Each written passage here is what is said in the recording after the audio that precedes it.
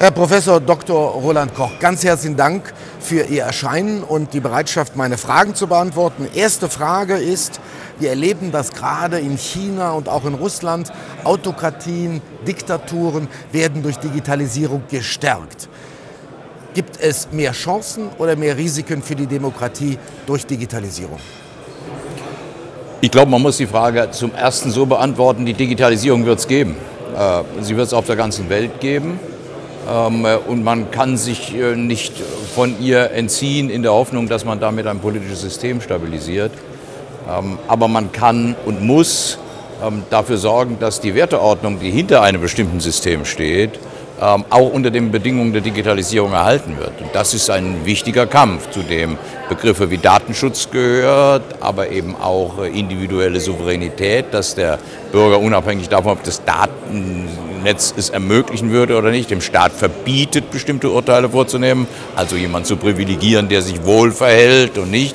Ähm, und auf der anderen Seite auch dafür zu sorgen, ähm, dass der Bürger eine volle Information über das hat, was der Staat über ihn weiß.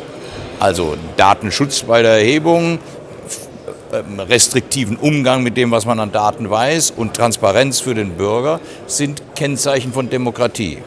Diktatur könnte damit nicht leben und deshalb wird das ein wesentliches Unterscheidungsmerkmal ja. bleiben. Äh, nun äh, sind Sie ja Jahrzehnte in der Politik gewesen und haben als Ministerpräsident von Hessen die Digitalisierung in dem Bundesland ja vorangetrieben.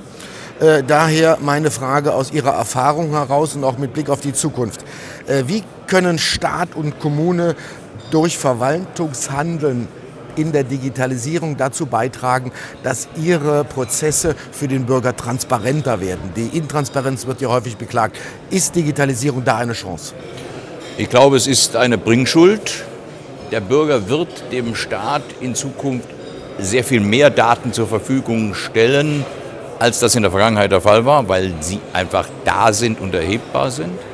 Ähm, äh, der Staat wird auch die Kombination von unterschiedlichen Informationen, die er bekommt, anders nutzen, auch nutzen müssen, weil er sich nicht künstlich dumm stellen kann in einer solchen Situation. Und wenn man das äh, sieht, dann muss die Gegenleistung sein, dass der Bürger die Chance hat, nachzuvollziehen, was da gerade geschieht. Ähm, da ist vielleicht die estnische Regierung sozusagen in Europa jedenfalls äh, das abschließende Vorbild.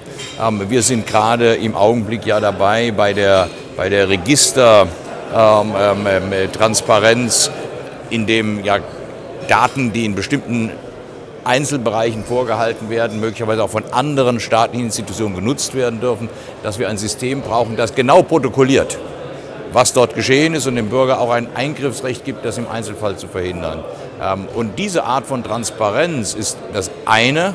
Das andere ist, der Bürger muss auch ein Stück mitleben müssen, wie staatliche Prozesse entstehen. Das heißt, er muss von den Daten profitieren können im Sinne von abstraktem Erkenntnisgewinn. Der Staat muss auch das, was er lernt aus den Daten, mit den Bürgern wieder teilen. Die Bürger müssen Zugang dazu haben. Also Kontrolle über das, was mit den eigenen Daten passiert und Beteiligung an der Lernkurve des Staates durch die verbesserte digitalisierte Welt sind wichtige Voraussetzungen. Letzte Frage, Herr Dr. Koch. Ähm Brauchen wir ein Digitalisierungsministerium auf Bundesebene? Was würden Sie sagen? Das große Problem, das wir häufig haben, ist, dass natürlich diejenigen, die in einzelnen Bereichen auch staatlicher Verwaltung etwas gut machen wollen, immer glauben, dass sie am besten wissen, was das Gutmachen genau bedeutet und erfordert. Und der Zwang, sich zu integrieren in darüberliegende Systeme, ähm, wird als unangemessen empfunden. Unsere Verfassung schützt dieses Gefühl durch die Regelung, dass äh, jeder Bundesminister sein Ressort in eigener Verantwortung führt. Und ein Digitalministerium hat nur einen Sinn, wenn es diese Hürde überwinden kann. Ein Digitalministerium, das ein Ministerium neben den anderen ist, ist so machtlos und frustriert wie das Finanzministerium, das versucht, Digitalisierung durchzuführen.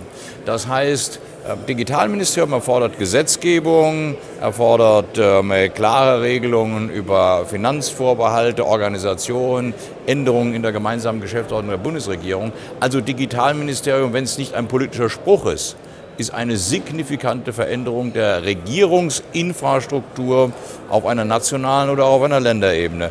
Herr Dr. Koch, vielen Dank für das Gespräch. Gerne.